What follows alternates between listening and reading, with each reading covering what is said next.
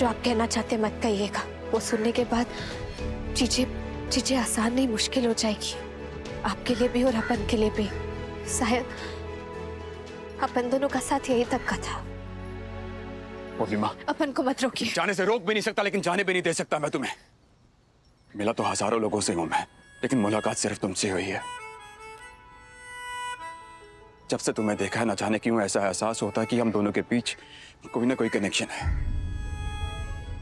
क्यों है, क्या है, ये नहीं जानता, लेकिन ये भी जानना ज़रूरी नहीं मेरे लिए कि हम दोनों के बीच कैसा कनेक्शन है। बस इतना जानना ज़रूरी है मेरे लिए कि तुम क्या महसूस करती हो मेरे बारे में? क्या सोचती हो मेरे बारे में?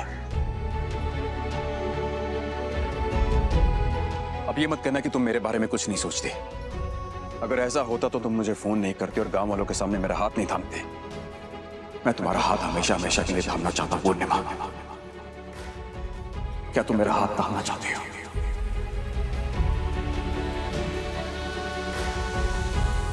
कितनी अजीब बात है। मेरे एक शब्द पे हज़ारों बातें सुना दिया करती थी मुझे, और अब बिल्कुल कुछ तो बोलो। क्या बोलू? आप एक बहुत अच्छे इंसान हैं। आपने हमेशा अपन की मदद की, जो आज तक किसी ने नहीं की। अपन ने बहुत कुछ सुनाया आपको, लेकिन आज मैं ऐसा कुछ नहीं बोलना चाहती जिससे आपको तकलीफ़ हो। क्योंकि मुझे पता है कि मैं जो बोलूँगी सच बोलूँगी और सच हमेशा कड़वा होता है। कैसा सच? सच ये है कि हम दोनों एक दूसरे का हाथ कभी नहीं थाम सकते। अपन दोनों का कोई नाता ही नहीं है। आपके नाम के अक्सर पे अपन का नाम आ जाना इससे कुछ साबित नहीं होता। साबित तो इस बात से होता है कि जब भी आपकी ज़िंदगी में कोई भी मुसीबत आई है ना उसका सुझाव हमेशा आपके पास था और अपन की ज़िंदगी में अपन की ज़िंदगी में जब भी कोई मुसीबत आई अपन के पास सुझाव नहीं था।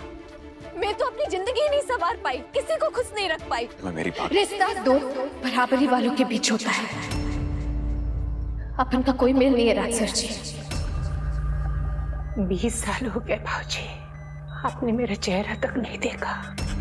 आज भी मुझे याद है वो दिन। मैंने आपसे कहा था कि मुझे शिशिर से ब्याह करने आए। आपने आशीर्वाद देने से इनकार कर दिया। क्योंकि शिशिर का दर्जा हमारे परिवार से बहुत कम था। और वचन ले लिया कि आप मेरा चेहरा कभी नहीं देखेंगे। सच्चे प्रेम की ताकत क्या होती है वो तो आप ही से सीखा था बाबूजी